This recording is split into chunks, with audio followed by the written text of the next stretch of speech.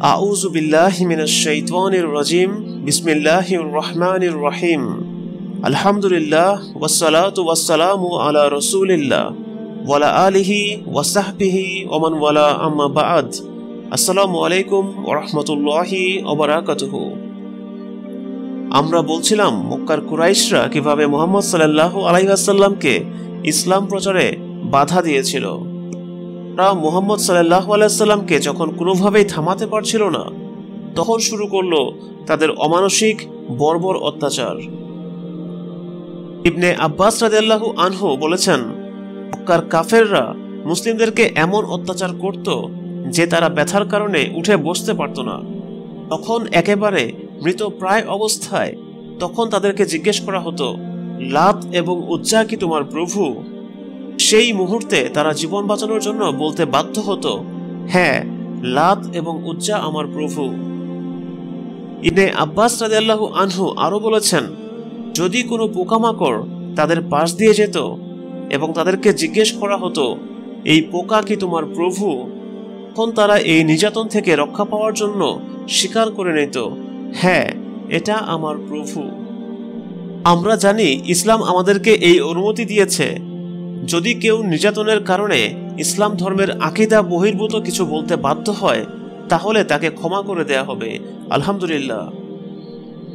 এই অত্যাচার ও নিপীড়নের অন্যতম মূল কালপ্রিট ছিল আবু জেহেল। আবু জেহেল অত্যাচারের ক্ষেত্রে কিছু টেকনিক মেনে চলত। যদি কুরাইশ বংশের কোনো উচ্চ মর্যাদা সম্পন্ন ব্যক্তি ইসলাম গ্রহণ করতেন, তাহলে তাকে কিছুই বলা হতো না।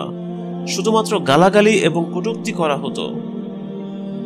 যদি কোনো ব্যবসায়ী ব্যক্তি হতেন, তাহলে তারা প্রথমে তাদের সাথে সমস্ত ব্যবসার লেনদেন বন্ধ করে দিত। মক্কায় যেন কোনো রকম বেচাকেনা তারা করতে না পারে, সে ব্যবস্থা নিত। আর যদি কোনো মুসলিম, গরিব কিংবা দাসদাসী হতো, তাহলে শুরু করত অমানসিক অত্যাচার। আবু জেহেল ওই দাসের মালিককে নানাভাবে উদ্বুদ্ধ করত, যেন সে তার দাসের উপর নির্যাতন করতে শুরু করে। মোহাম্মদ সাল্লাহ আলাইসাল্লাম আবু জেহেলকে এই উম্মতের ফেরাউন হিসেবে আখ্যায়িত করেছেন। সহি বুখারিতে আবদুল্লাহ ইবনে মাসউদ রাদিয়াল্লাহু আনহু বর্ণনা করেছেন, প্রথম সাতজন ব্যক্তি যারা ইসলাম গ্রহণ করেছিলেন, তারা হচ্ছেন আবু বকর, আম্মার আম্মার এর মা সুমাইয়া, সুহাইব, বিলাল আল মিগদাদ এবং ইবনে মাসুদ রাদিয়াল্লাহু আনহুম নিজে।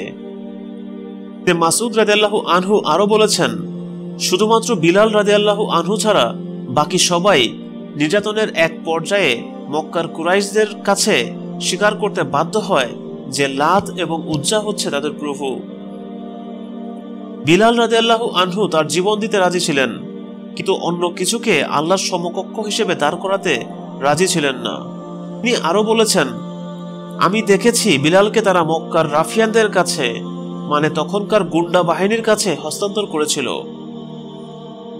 তারা বিলাল রাদে আল্লাহু আনহুয়ের গলায় রশি দিয়ে বেঁধে সারা মক্কা শহর টেনে হিচড়ে নিয়ে গিয়েছিল।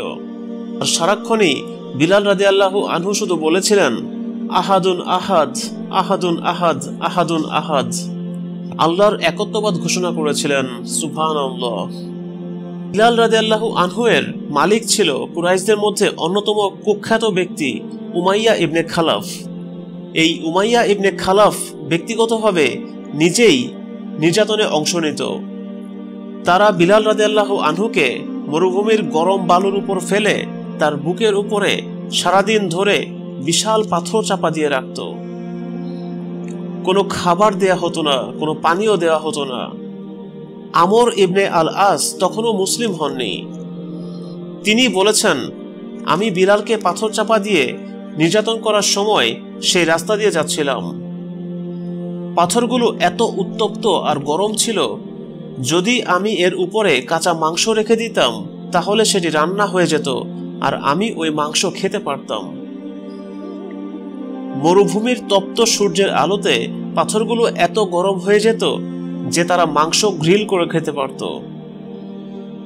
আল আস আরও বলেছেন, এই উত্তপ্ত পাথর চাপা দিয়ে বিলালকে সারাদিন নির্যাতন করা হয়েছিল এবং আমি বিলালকে বলতে শুনেছি, আকফুরু বিল্লাতি ওয়া উজ্জা ওয়া উকফুরু উমিনু বিল্লাহি। আমি লাত এবং উজ্জাকে মানি না, আর শুধুমাত্র এক আল্লাহকেই আমার প্রভু হিসেবে ঘোষণা করছি। মাইয়া তাকে চাবুক দিয়ে মারতে থাকলেও বিলাল রাজি আল্লাহ আনহু অনবরত বলছিলেন, আহাদুন আহাদ আহাদুন আহাদ আহাদুন আহাদ। আল্লাহ সুবহান ওয়াতালা এই বিলাল রাজি আল্লাহ আনহুকেই ইসলামের প্রথম মুয়াজ্জিন এবং রসুল সাল্লাহ আলহাসাল্লামের একমাত্র অফিসিয়াল মুয়াজ্জিন হবার পুরস্কার দিয়েছেন এই পৃথিবীতে। সুবহান আজান দেওয়ার যে কত ফজিলত রয়েছে, সেটা যদি আমরা জানতাম, তাহলে আজান দেওয়ার জন্য রীতিমতো প্রতিযোগিতা করতাম।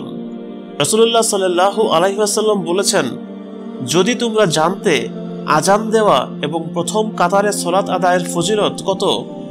তাহলে তা করার জন্য নিজেদের মধ্যে লটারি করে হলেও আজান দিতে আসতে এবং প্রথম কাতারে সলাৎ আদায় করতে। রসুল সাল্লাহু আলহিহাসাল্লাম আরেকটি হাদিসে বলেছেন, তুমি যেখানেই থাকো না কেন, তুমি যদি একাও থাকো, তারপরেও আজান দাও। কারণ জিন এবং মানুষের মধ্যে যেই তোমার আজান শুনবে, কিয়ামতের দিন তারা তোমার পক্ষে সাক্ষী দিবে সুবহান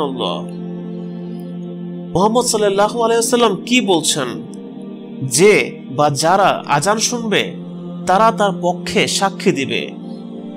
এখন খেয়াল করে দেখুন, বিলাল রাজিয়াল্লাহ আনহুয়ের আজান কে শুনেছে?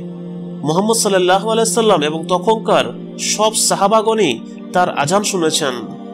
অর্থাৎ তারা সবাই বিলাল ইবনে আবি রাবা রাজে আল্লাহ আনহুয়ের জন্য সাক্ষী দিবেন কেয়ামতের দিন। এর চাইতে বড় পুরস্কার আর কি হতে পারে? সুভান আল্লাহ আল্লাহ একবার আরেকজন দাস নবুয়াতের প্রথম দিকে ইসলাম গ্রহণ করেছিলেন। তার নাম খাব্বাব ইবনাল আরাত রাজে আল্লাহ আনহু। তিনি ছিলেন আরবের একজন দাস। যেহেতু তিনি আরবের লোক ছিলেন, তাই তাকে বিলাল রাজি আল্লাহ আনহুয়ের মতো এত নির্মম নির্যাতন সহ্য করতে হয়নি। কারণ তখনকার সমাজ ব্যবস্থা ছিল রেসিস্ট সোসাইটি মারাত্মক জাতীয়তাবাদ ছিল তখন। বাব রাজিয়াল্লাহু আনহুয়ের মালিক ছিল উম্মে আনমার নামক একজন মহিলা। খাব্বাব আগুনে পুড়িয়ে তরবারি তৈরি করতে পারতেন।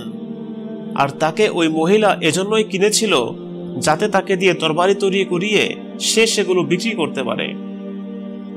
যেই মুহূর্তে এই মহিলা শুনল যে খাব্বাব ইসলাম গ্রহণ করেছেন তখনই সে লোকজনদেরকে ডেকে তাকে পিটাতে বলল। সবাই তাকে মেরে রক্তাক্ত করেছিল।